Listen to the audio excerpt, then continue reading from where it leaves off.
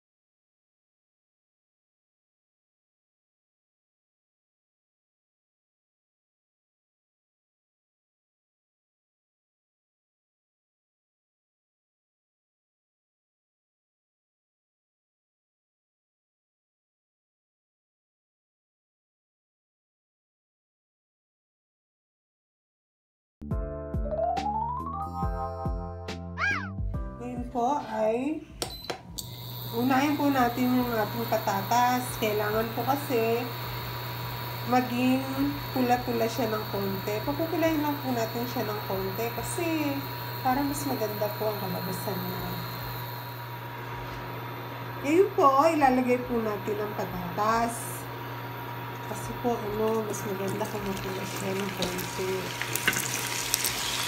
Pero ito po, mga hanggang 2 to 3 minutes lamang.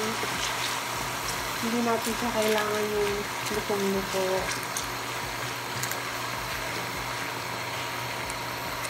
Pero po ito, okay na po ito. Uh, isasalin po muna natin siya sa isang lalagyan at iisang tabi po muna natin siya.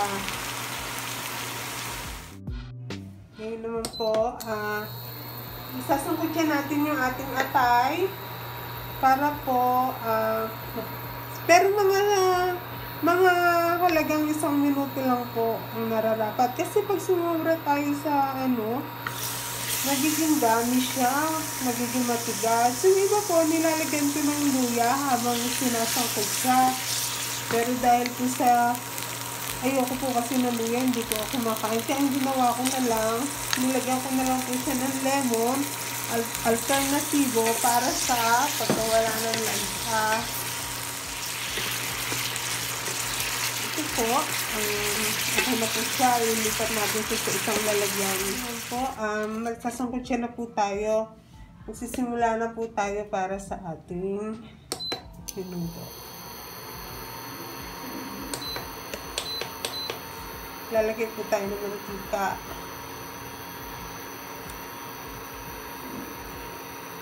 konti lang.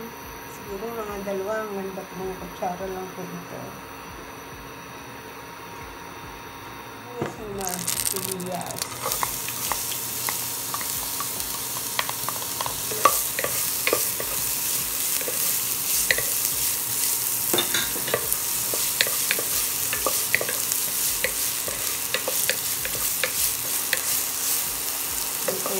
Mag-intang season sunod ang ating bawang.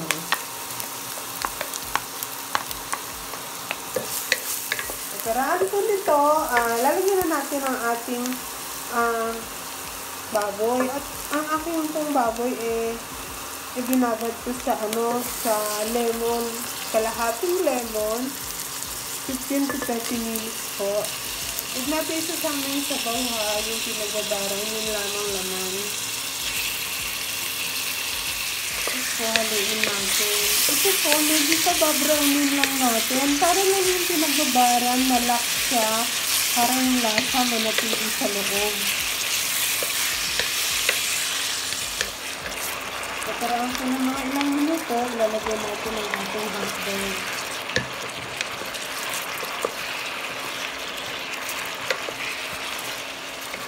Natin carrots. Lagyan na natin kasi medyo matagal siya lumabas.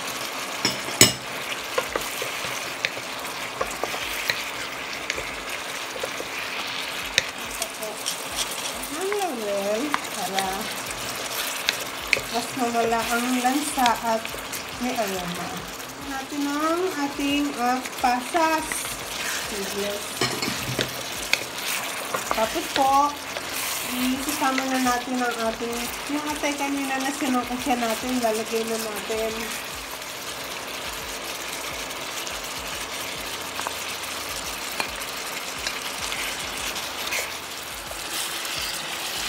Ngayon po, lalagyan ko po siya ng ano, ng 7-up soda. Kasi po, ito po nagpapalambot ko ito. At saka, nagpapalinamnam na rin. Yan po ang ginagawa ko. Lalagay na rin po ang ating patatas. Yung sinabi natin patatas. Yung tomato sauce. Hindi naman po masyadong marami kasi baka umasin.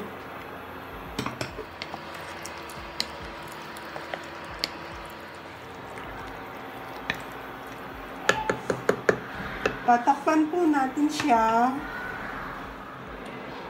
Takpan po natin. Takpan natin.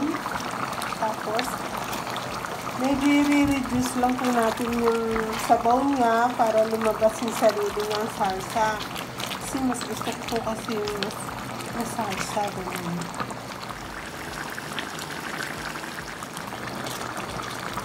Ako po, nagbabagsak po ako ng isang hiwa ng keso. Ito po, optional po ito ha. Pero ako po naglalagay po talaga para po mas malilim siya.